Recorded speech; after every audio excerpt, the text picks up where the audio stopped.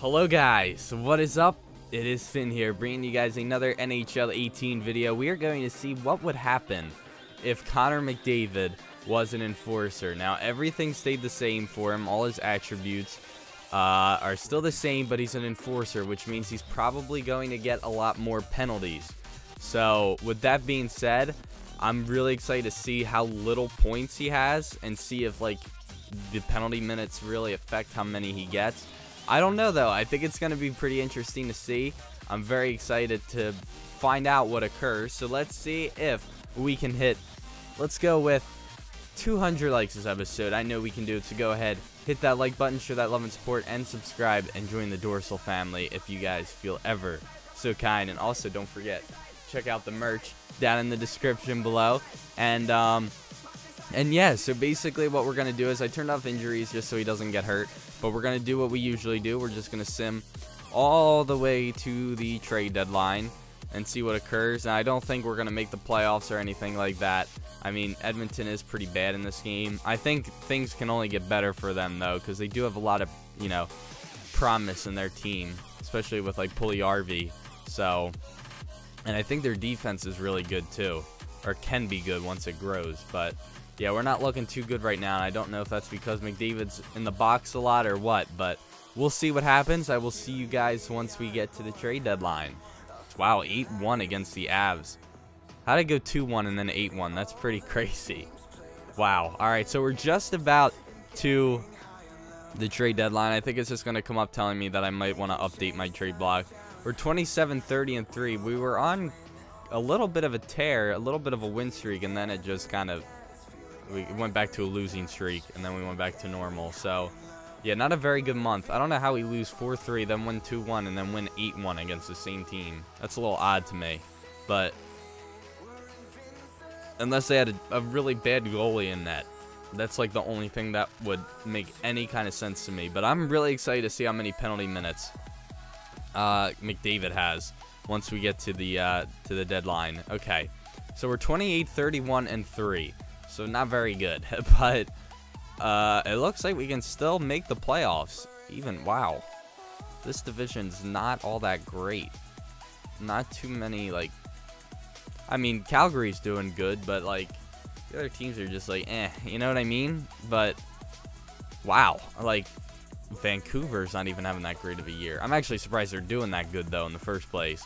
All right, so let's go to the Stats Central and see what's going on. Ottawa's fourth overall with the chance of them having an even higher pick next year. Oh, okay. I don't know if they should trade their pick, though.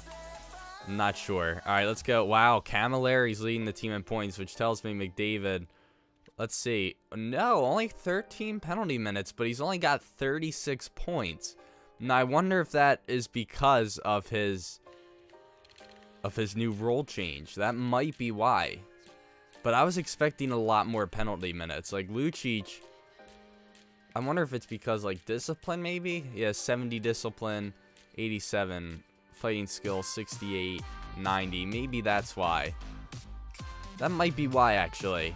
But I was really expecting to still see more penalty minutes, but I guess his points will be lower because of that, that, uh, that's the skill, well, not the skill, but, like, the role he now has. So he probably plays the body more, maybe? I don't know.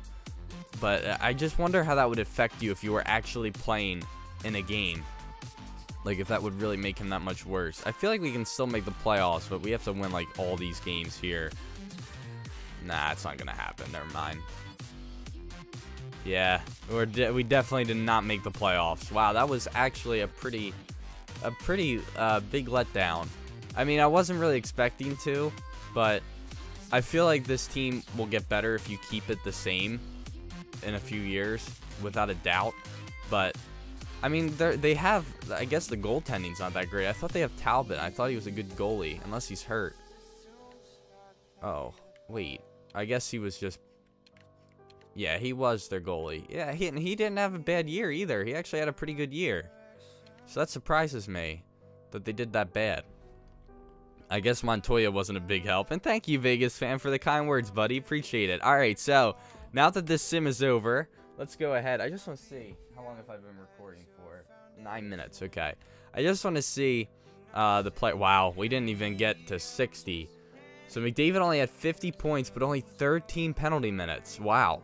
But I know he does. I I think this really has to do with the enforcer role that we gave, gave him because I don't think I've ever seen him have this let this little points in a simulation or even in just a franchise mode in general. I don't think I've seen him.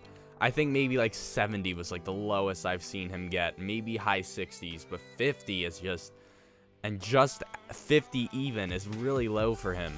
You know what I mean? I mean, the second line almost did better. You know what I mean? Well, Draisaitl was the best on the team. And thank you, I don't know what just happened. Thank you for the cheer, Wild Monkey. Appreciate it. Thank you very much, my man.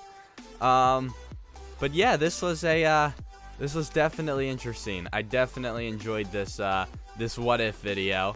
But, uh, I, yeah, I was, I was kind of expecting this many points, but I was expecting a lot more penalty minutes, without a doubt. But, I mean, even Draisaitl had more, but I guess he's got better fighting skill, and I don't know. Yeah, I really don't know. It's, it's tough. But oh well, it is what it is. But guys, that is going to do it for this video. I hope you all enjoyed. If you guys have any challenge ideas or what if ideas, make sure to leave them down below because you never know. Your idea could be used in a challenge on the channel. Don't forget to stick around and check out the other videos I have on the channel. There's NHL challenges. There's also um, there's my Great Britain franchise that I just started that seems to be a pretty big hit right now. We have an expansion franchise, Be a Pro, so be sure to check those videos out. And um, yeah, feel free to stick around. Don't forget to leave a like and subscribe and join the Dorsal family. Thank you all so much for watching, and those of you on Twitch, thank you for streaming with me. As always, I'll see you guys in the next episode.